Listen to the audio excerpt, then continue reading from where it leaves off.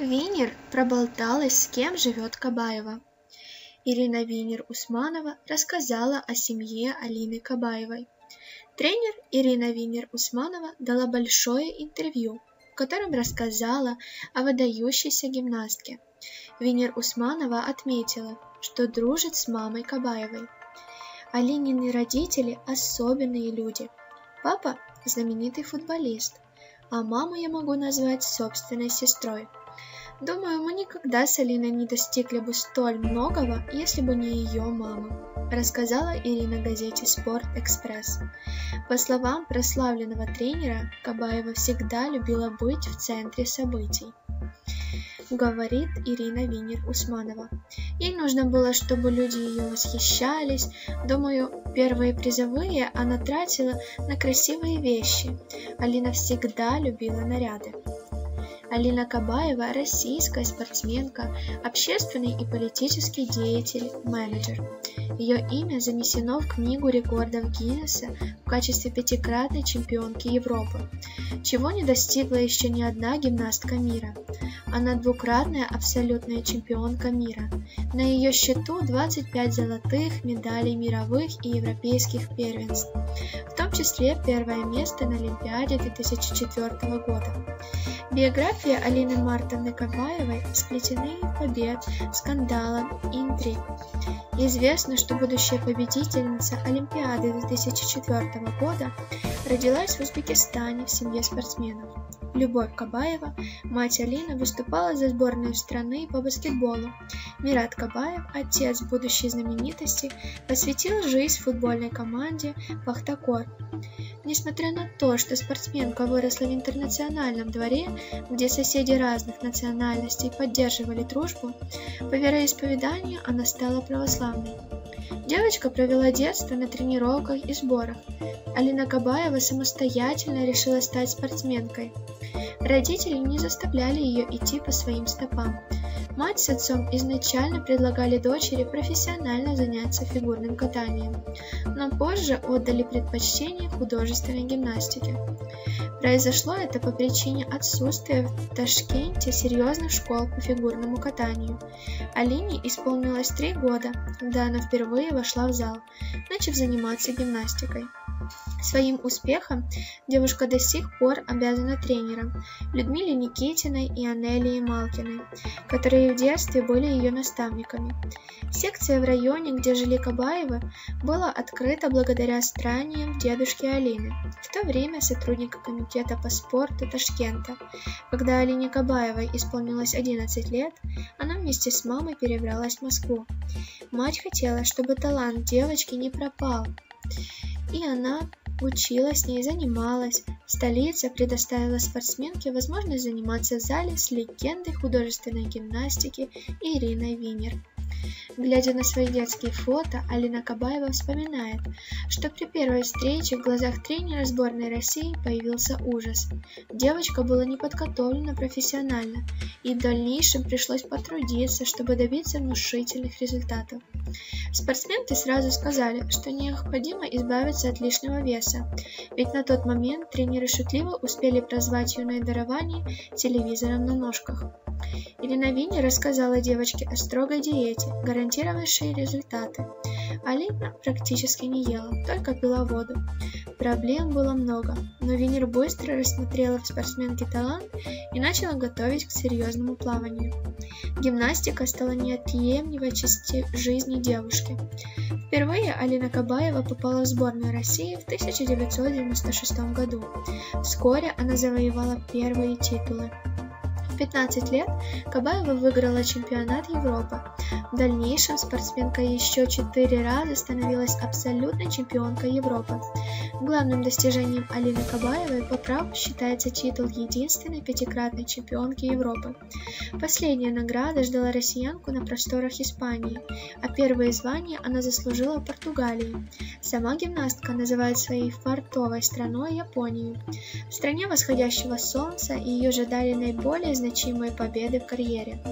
Не забыть о Лене Кабаевой и Испании, ведь через два года в Гранаде россиянка завоевала золотые медали континентального первенства. Своими любимыми упражнениями Алина называет номера с лентой и булавами. самый яркий из которых получил название «Кармен». Наиболее эффектным элементом исполнения гимнастки считается пируэт – многократный поворот вокруг собственной оси.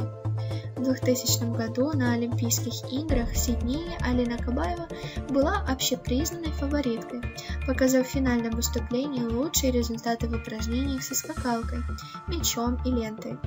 Тем не менее, российская спортсменка совершила грубую ошибку в выступлении с обручем.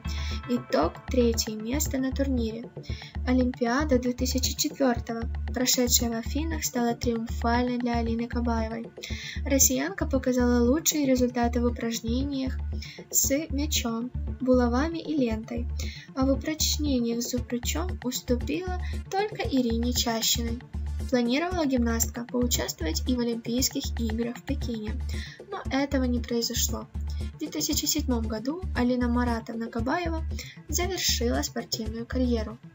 В 2001 году Кабаеву ждал громкий скандал. Ирину Чащину и Алину Кабаеву поймали на горячем. Тогда причиной стало применение фуросемида. Скандал разгорелся нешуточный, и гимнастка два года не допускалась к серьезным соревнованиям. Тогда Алина Кабаева лишилась всех наград, полученных на играх доброй воли, а также на чемпионате мира 2001 года. В первый год изгнания она не имела права проявляться на состязании. Второй год был менее жестким. Наказание стало условным. Россиянка могла участвовать в выступлениях на турнирах, но под строгим контролем судей и медиков. Как стало известно несколькими годами позже, вещество фуросемид нельзя назвать допингом, ведь препарат способствует только выведению запретных веществ из организма.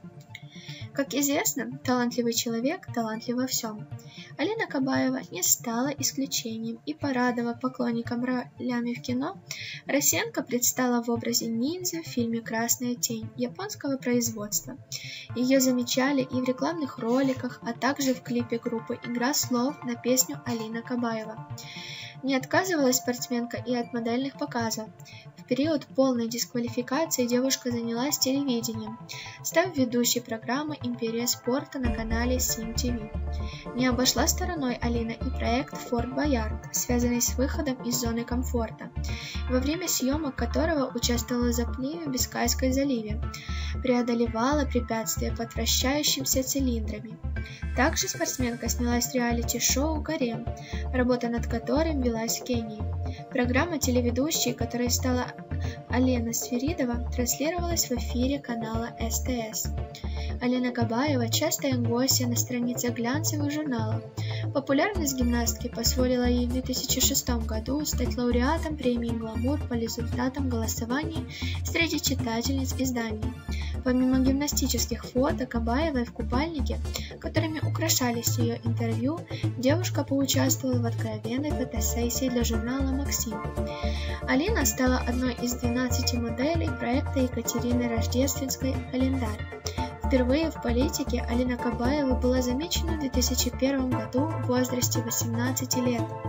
Тогда гимнастка получила право не только голосовать на выборах, но и сама избиралась.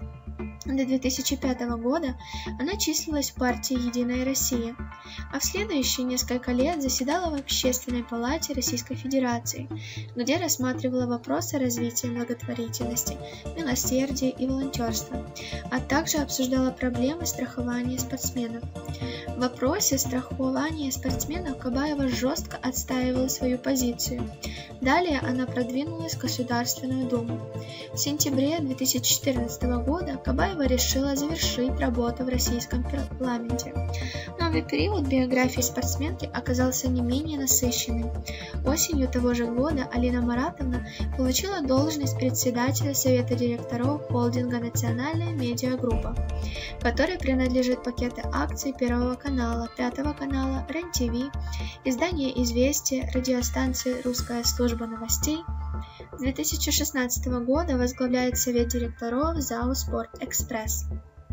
Кроме достижений спортивной и политической карьере, у знаменитости два высших образования.